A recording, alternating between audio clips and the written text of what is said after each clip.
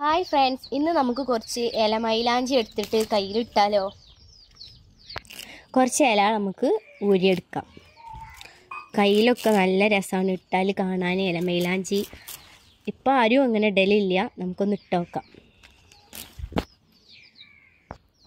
ഇത്രയും കിട്ടിയിട്ടുണ്ട് ഇല. അപ്പം നമുക്കിനി ഇത് അരച്ച് കയ്യിലിടാം. നമുക്ക് അമ്മി ഒന്ന്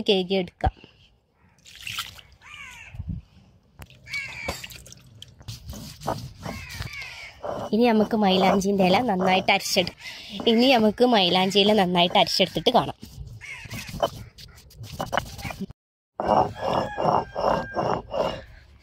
അപ്പോൾ നമ്മൾ അരവ് ഏത ഏകദേശം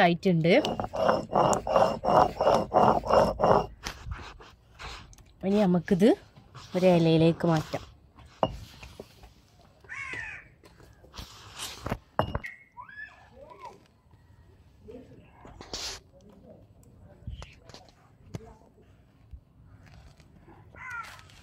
ഇപ്പം നമ്മളെ മൈലാഞ്ചി റെഡി ആയിട്ടുണ്ട്.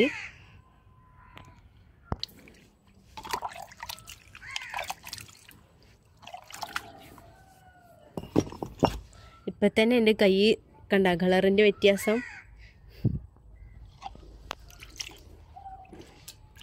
നമുക്കിനി അമ്മി ഒന്ന്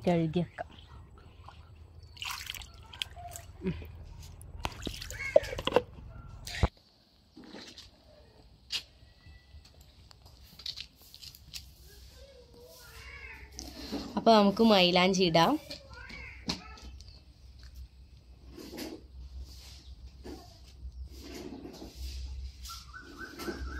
നമുക്ക് ഇഷ്ടമുള്ള ഡിസൈനിൽ ഇടാം. ഞാൻ എനിക്ക് ഇഷ്ടമുള്ള പോലെയാണ് ഇടുന്നത്.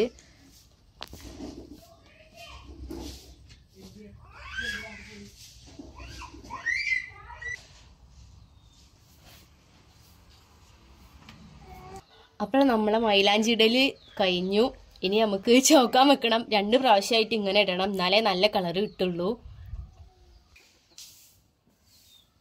അപ്പം നിങ്ങൾക്ക് ഞങ്ങളെ വീഡിയോ ഇഷ്ടപ്പെട്ടിട്ടുണ്ടെങ്കിൽ എല്ലാവരും ചാനൽ ഒന്ന് സബ്സ്ക്രൈബ് ചെയ്ത് സപ്പോർട്ട് ചെയ്യണം.